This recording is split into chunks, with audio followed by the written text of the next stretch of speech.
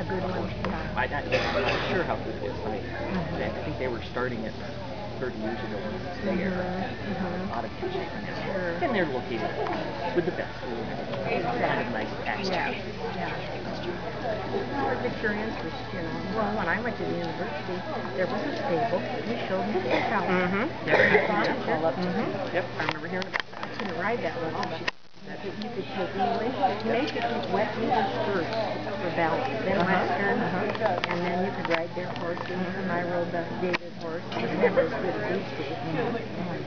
Mm-hmm. They had a stable out there. That's all kind of fun that you get to go along with these guys. Well, I don't go as much anymore, but yeah, it's yeah. still fun. Mhm.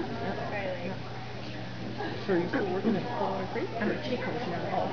Okay. Coldwater, well, it was my part-time job, and I worked at. Homeworks, and Homeworks. Ah. So we don't Yeah, that's, that's, it wasn't a happy environment. No, Yeah. no, for a year or so. Everybody's ragging on everybody. Well, it's just, it, they didn't say anything, but There was just the, you could feel it, yeah.